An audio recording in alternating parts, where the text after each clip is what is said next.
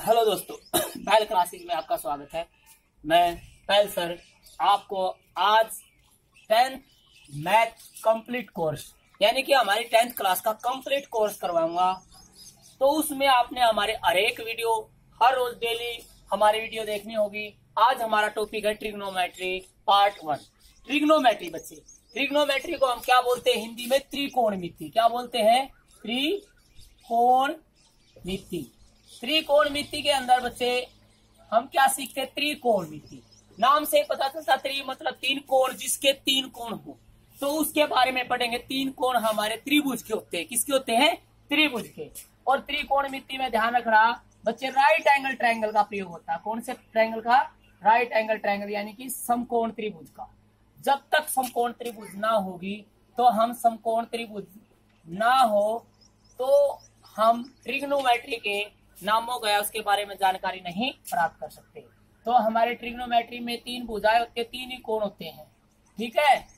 एक कोण हमारा कितने डिग्री का होता है इसमें? 90 डिग्री का। इसको बोलते हैं समकोण त्रिभुज। समकोण त्रिभुज की तीन भुजाएँ होती हैं। पहली भुजा को हम सिरस्लम दूसरी भुजा हमारी आधार ए, और तीसरी भुजा के कर्ण। यहाँ, के को किससे लिया गया बच्चे? कर्ण से। ए को किससे? आधार। जिसको इंग्लिश में क्या बोलते हैं? बेस। और बच्चे एल को सिरस्लम यानी कि परपेंडिकुलर सिरस्लम बच्चे, आपने इन तीनों का नाम सुना है समकोण त्रिभुज में। के करण, ए आधार, एल, लम। तो इन तीनों से ही हम क्या ज्ञात करेंगे? त्रिकोण मिति के सभी नामों के बारे में जानकारी प्राप्त करेंगे। केवल समकोण त्रिभुज। क्योंकि समकोण त्रिभुज से इनकी उत्पत्ति हुई है। इनकी उत्पत्ति के लिए हमें केवल एक टेबल याद रखनी होगी। जो हमारी टेबल है, जिसको बोलते हैं हमारी table number first.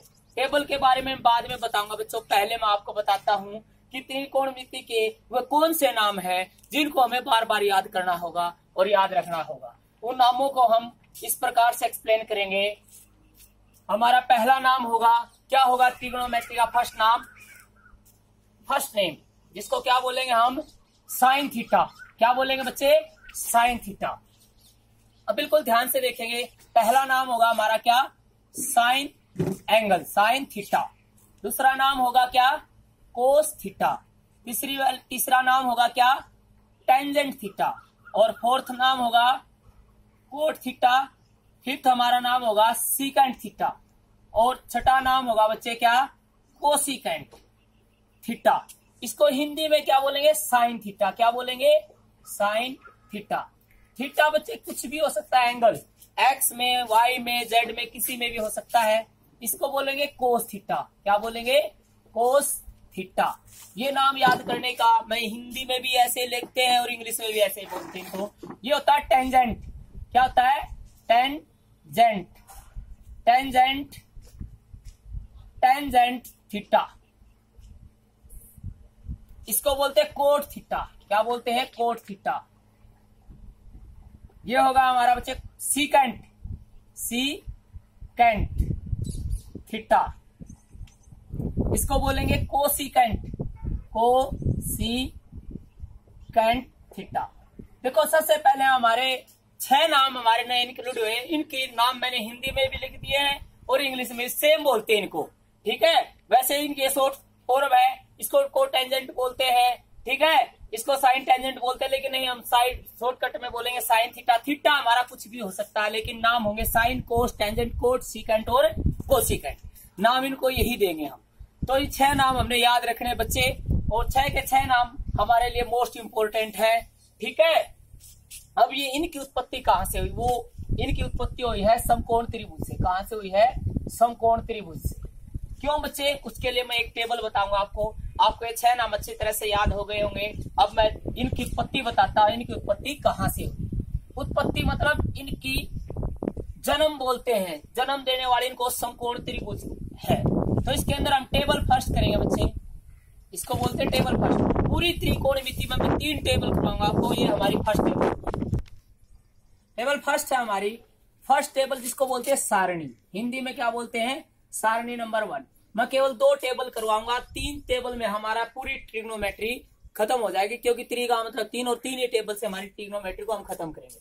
First table है बच्चे एल ए एल के के ए जिसको हम लिखेंगे क्या? एल को लिखेंगे लाला।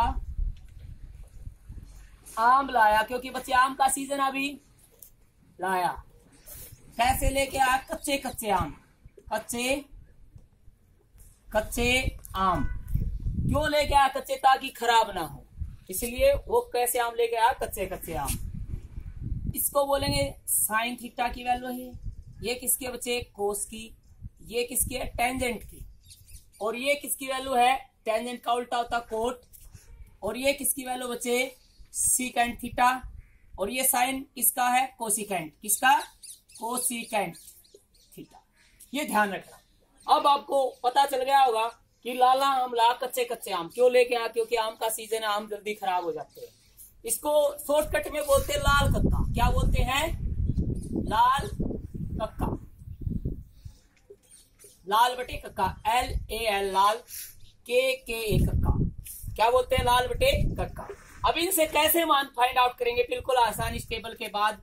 हम बिल्कुल ही आसान तरीके से पता लगा सकते हैं। जैसे बच्चे, हमें पता है कि लंब बटे आधार। रिग्नोमेट्री में लंब बटे आधार करेंगे तो किसकी वैल्यू आएगी? साइन थीटा की। बिल्कुल ध्यान से देखेंगे। आधार बटे करण। जब आधार बटे करण करेंगे तो किसकी वैल्यू आएगी? कोस थीटा की। और लंब बटे आधार करेंगे तो किसकी वैल्यू आएगी? टेंजेंट थीटा की। अब ये तीनों इसके उल्टे हैं। यदि मैं आधार बटे लंब करता हूँ तो किसकी वैल्यू आ गई साइन का उल्टा। क्या? था कोसिकेंट किसकी वैल्यू आ गई बच्चे? कोसिकेंट थीटा की। करण बटे आधार करूँगा तो किसकी वैल्यू आएगी? सीकेंट थीटा की। किसकी वैल्यू सीकेंट थीटा की। और आधार बटे लंब हमारे किसकी वैल्यू होगी? कोट थीटा की। ये छह के छह नाम बच्चे कहाँ से पैदा हुए? इनकी उत्पत्ति किससे? समकोण त्रिभुज से। ठीक है? और इस टेबल का प्रयोग करते हुए आसानी से पता लगा सकते हैं कि हमारी साइन कोस टेंजेंट की उत्पत्ति, लंब बटे आधार आधार बटे कर्ण कर्ण बटे लंब, इस तरह से इनकी उत्पत्ति हुई है। मैं आशा करता हूँ कि आपको ये अच्छी तरह से समझ में आ गई होगी।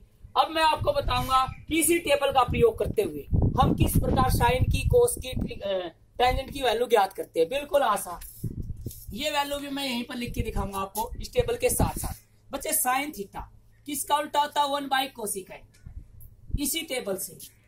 कोस थीटा किसका उल्टा होता है बच्चे? वन बाई सीकेंट हमारा क्या होगा? कोस थीटा इसी प्रकार, क्या करेंगे हम? कोसिकेंट थीटा है।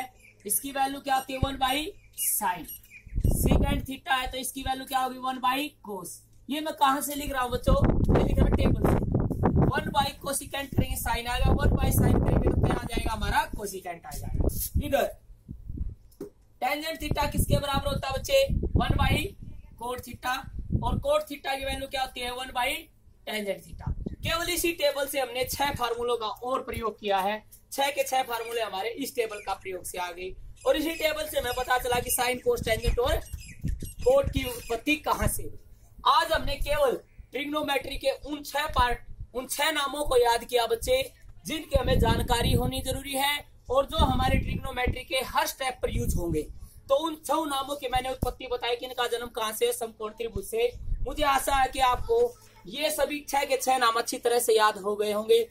में छह नामों की उत्पत्ति के साथ हमारे टेबल फ़र्स्ट, जिसको बोलते हैं साइनी फ़र्स्ट, भी याद हो गई होगी।